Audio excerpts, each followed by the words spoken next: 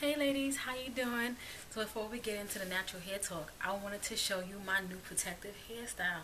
I had one of my girlfriends braid my hair. I hope you guys can see it. She braided my hair in the back. Like just pretty much in the and then I just did some two strand twists.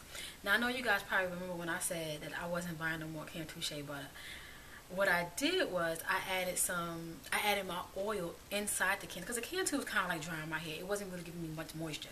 So I added my oils inside the Cantu, swirled it up with my finger, and then did a twist. And my twists are so moist. I could just feel it. They're like, they just feel so good.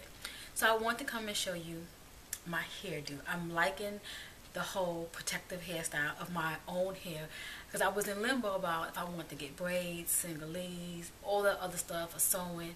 I was kind of in limbo, so I just said I would just, you know, kind of put away my own hair without getting any extensions or anything. And I like it. I got a little mini facelift because my face feels so torn, like pushed up. But needless to say, I do like it. So I want to talk about pre-poo. I feel like I've been under a freaking rock. Why haven't I known about pre-poo? apparently this is something that you do before you co-wash or you shampoo your hair because if you shampoo your hair and you know if it strips it or whatever you can you know pre oil it down and condition it down just to help retain moisture in your hair so how I came across it I was on um, YouTube of course how I can keep my hair moisturized while my hair is in a protective hairstyle. So of course I can make my little concoctions and spray and things like that. But I was trying to look and find out, you know, just other things that I can do to my hair. Because I'm going to definitely get another style with my hair braided up. So, um, I don't know. I just ran across it. And I was like, why haven't I known about this?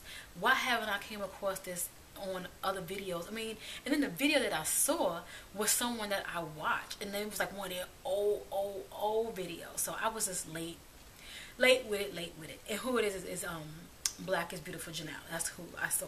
So yeah. So if you guys pre-poo, I want to know if you do, if you don't. And if you do use it, are you seeing any results in retaining moisture? I'm going to do it when I take this out in about a week and a half.